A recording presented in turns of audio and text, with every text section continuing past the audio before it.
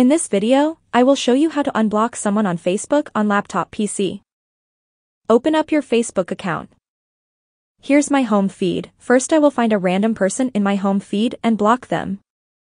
We have this person here. Push on their profile picture here, then push it again. Come over to these three dots.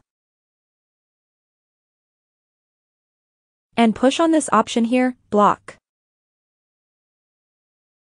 Press confirm. Then confirm again.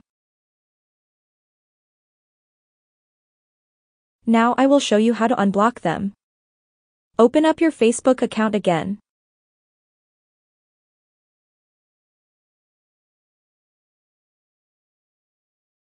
Go to your profile picture and name here in the upper left corner. Come down and push on Settings and Privacy, then push on Settings at the top here. Come over to the left column and push on Privacy. Then this option here, Blocking, push on that. Come over to where it says, Block Users. Push on the Edit button over here.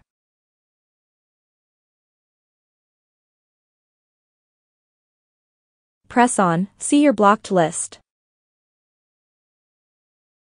There's the person we blocked a minute ago. And press on, unblock. Then confirm.